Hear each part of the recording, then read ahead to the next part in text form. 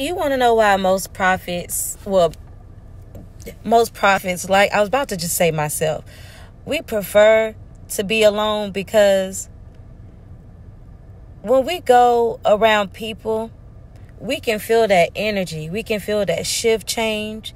We can feel the negativity. The positivity is always great, but most of the time, the the shift change when we walk in the room is is not all is not positive.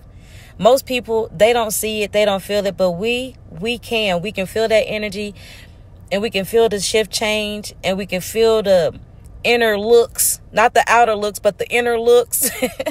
and then, you know, when you give people a chance to get to know you, they like you, they hate you, they obsess with you, they hate you. You know, it's like it's a lot, man. It's a lot and I just rather not even I,